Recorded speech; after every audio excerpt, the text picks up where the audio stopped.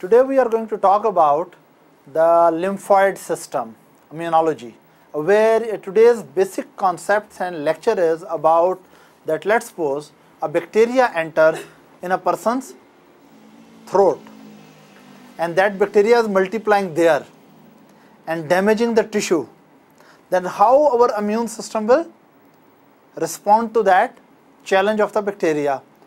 And while we will be studying how our immune system will respond to that challenge, we will be talking, talking about the B cells and T cells and macrophages and other cells which are involved in lymphoid tissue and immune responses.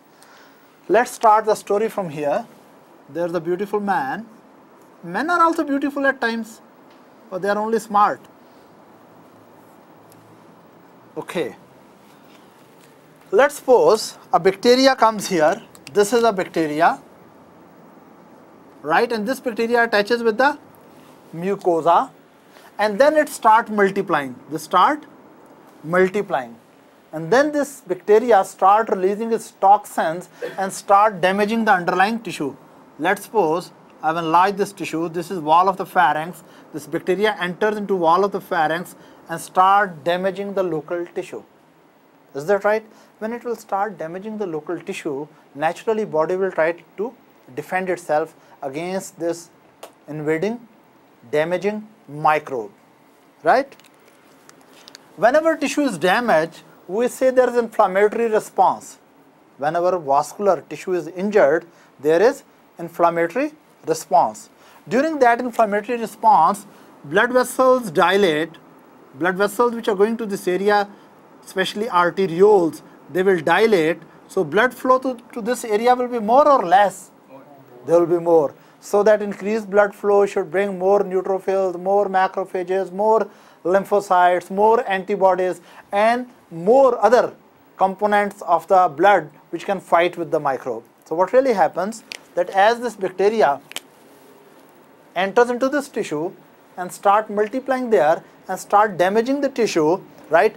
Tissue response towards this injury is by inflammatory process.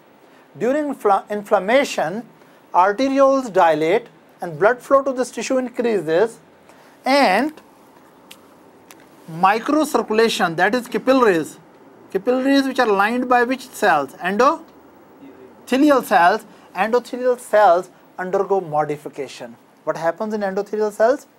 What happens to endothelial cells? That endothelial cells express special sticky molecules. This express special adhesion molecule so that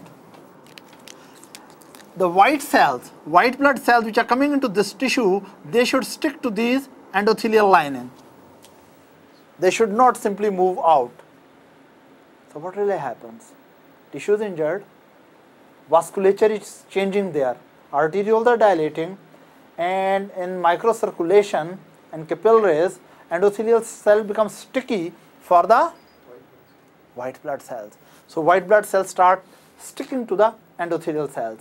And as you will know later when you will study inflammation in detail that white blood cells will come out from the vascular compartment into tissue. For which purpose? To fight with the bacteria. Which white blood cells come out first? Neutrophils or macrophages or lymphocytes? Who will tell me? Which are the white blood cells? Which type of white blood cells first of all come out during acute injury? Acute means short-term injury. Yes? Neutrophils. Neutrophils. That's good. Neutrophils come first of all into tissue. Why? There must be a reason. Because they're most abundant. And because they're most motile. And because the substances which attract the neutrophils, they are produced first of all. Why the neutrophil first of all come out of vascular system into tissue to fight with the organisms? Because they, they enter first of all and in big number. Why? Because the number in the blood is more than the monocytes, more than the lymphocytes, more than the eosinophils, more than the basophils. Neutrophils are the most abundant white blood cells in the blood. This is one reason. Secondly, neutrophils are most motile out of the all other white blood cells. Neutrophils are most motile. Number three, the chemoattractive substances to bring the neutrophils out, chemotactic agent to attract the neutrophils are produced most early. That is why neutrophil will come out into tissue. So here the neutrophil which has come out to fight with the microbe. And once neutrophils start fighting with the microbe, they will call their friends and they will call their friends which are more hardy, which are stronger. Which are those friends? Neutrophil will produce some chemical substances to attract a very special type of strong cells, hardy cells. What are those cells? They're macrophages, that's good. Actually, they are monocytes. Monocytes are present in the blood and when monocytes come out, they are called macrophages. So, suppose in this bacterial infection, when tissue is damaged, neutrophils come into tissue from the vascular compartment followed by the macrophages. Is that right? Now, let's see what really happens here. I will enlarge this area. Let's see what really happens here. I remove a piece of this tissue from here and put it there. Here was, let's suppose, vasculature, right? And here was a neutrophil out to fight. Always make neutrophil with multilobated nucleus. That's the sign of neutrophil. Whenever you make a cell, white blood cell, put multiple lobes in the nucleus, it is automatically understood all over the world you have drawn neutrophil. And when you draw the macrophage, make a cell with irregular boundaries but kidney shaped nucleus. Actually, macrophage is a monocyte. You know monocytes are one of the circulating white blood cells. When monocytes come out into tissue, they are named and called macrophages. Macro mean what? Macro mean big, phage mean eating. These are big eaters, macrophage. Of course, then doctors must be comparing it with some small eaters. Macrophage is a big eater. But there should be something which eats a little.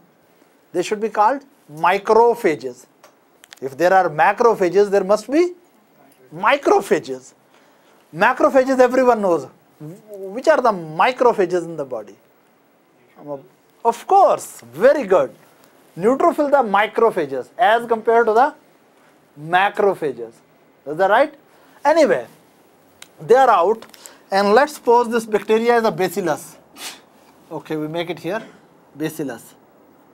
These are the bacteria. Now this bacteria is a bacillus and these are bacterial, what are these? Bacterial antigens. These are bacterial antigens. Now what will happen?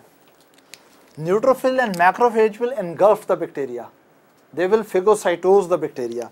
Let's suppose this is a neutrophil, right? And this is a multilobated nucleus of the neutrophil. And it phagocytoses the bacteria. So bacteria is present within the neutrophil in its uh, phagosome. And these are bacterial antigens. One bacteria has one type of antigens or many types of antigens? Many types every bacteria has many many type of antigens that is why we say microbes are antigenically mosaic that is why against one type of bacteria multiple types of antibodies can be produced. Why against one bacteria you can produce multiple type of antibodies? Because one bacteria carries multiple type of antigens. Am i clear to everyone? Right? So, but in my diagram I am showing one antigen, okay for your peace of mind I show multiple antigen. This is one antigen, this star is another antigen, this triangle is still another antigen and this is another antigen.